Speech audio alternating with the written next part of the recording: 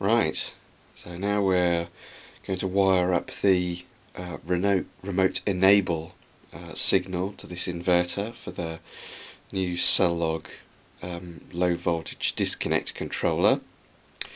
And it's just a matter of undoing uh, four screws at each end uh, and then the top half of this lid pops off and we can get access to the uh, remote control on-off switch at the front there. Right, so we've uh, disconnected the positive from the battery pack, uh, taken the screws off and got the lid off and this is what it's like inside. Um, I'd previously replaced the quite noisy fans with um, special low noise ones um, just to make the inverter a bit quieter. Um, there's my dust filters to keep the cat hair out of the machine. Um, it's a big problem down here. Um, and then uh, I've got the front of the unit off.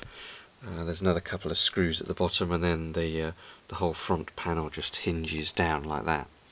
And then you've got the remote uh, connector, uh, the on-off remote switch connects in here just three wires um, for the uh, remote on and um, center position. Uh, and I think just looking at it it's probably this uh, I don't know if you can see it.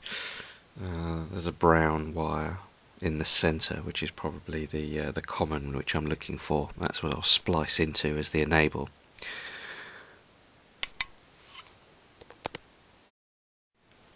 Right, so we've got the uh, remote connection in place now, spliced into that brown wire. Um, and let's give it a test. We've got the power supply back on.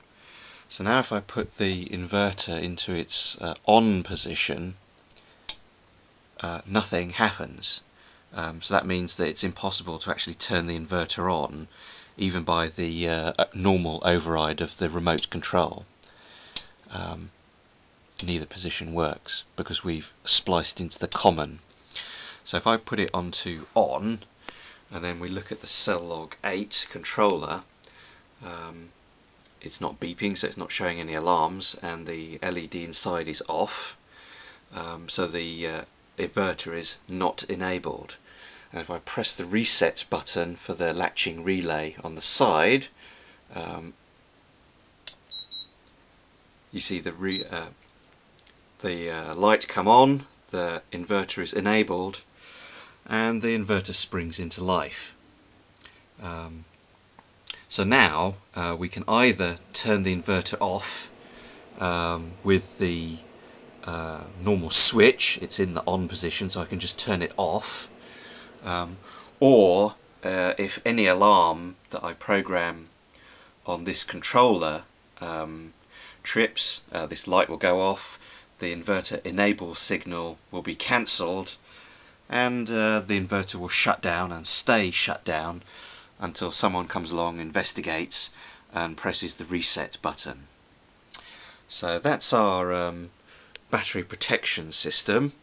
Um, I'm not too bothered about high voltage um, disconnect because we're undercharging the batteries by design. Um, we're charging to quite a low maximum voltage. Um, what is important is to make sure that under no circumstances uh, does the pack uh, or any one cell in the pack um, get below um, 3 volts, I've set it at, 3 volts per cell um, or 24 volts for the pack. Um, that's really important. Um, and the only load of any significance that I've got connected to the pack is the inverter.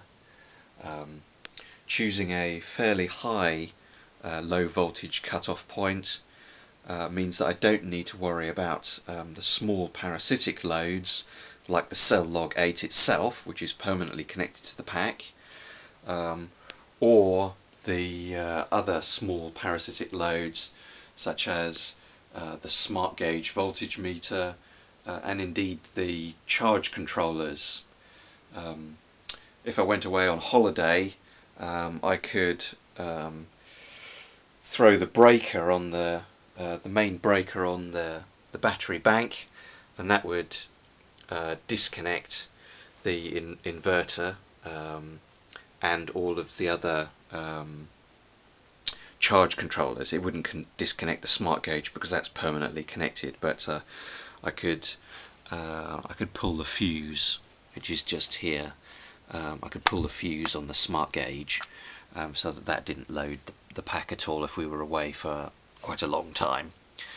Um, so that's that's our protection system and I'll probably just uh, give it a bit of a test by um, setting resetting the alarms to um, some higher voltage um, uh, just as a, a, final test. I've already tested last night, uh, as you've seen on the video, the unit in isolation, uh, just using a test meter, continuity meter on its beep setting um, to show that the, the output works and is steady over its switching range, which of course it is because the uh, the relay latches so after the first trigger it ignores any other um, eccentricity of the alarm output switching uh, on and off.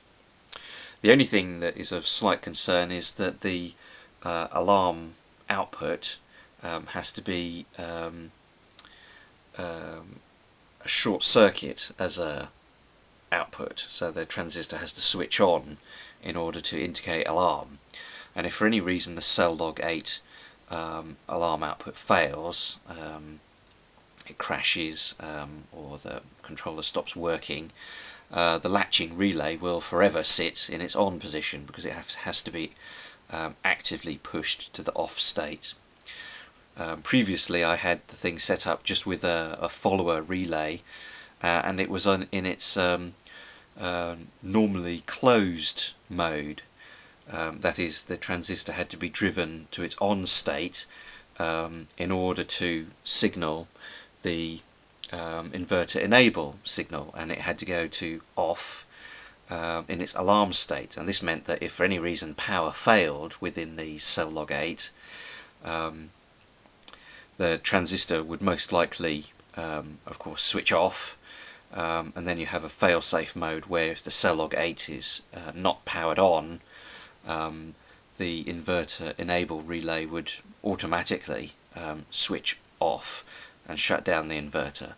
Um, this way the CellLog 8 can fail um, and its output will not uh, go to short circuit um, and the inverter will quite happily sit there um, switched on none the wiser until the battery pack is depleted down to 21 volts when the LVD uh, that's built into the inverter uh, shuts it down.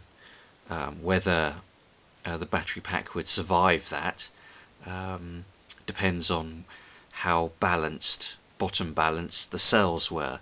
Um, I might find that uh, one cell uh, packs up because the LVD for the pack voltage was too low and the pack wasn't uh, balanced enough to survive that. But uh, hopefully that won't happen. Um, we'll see.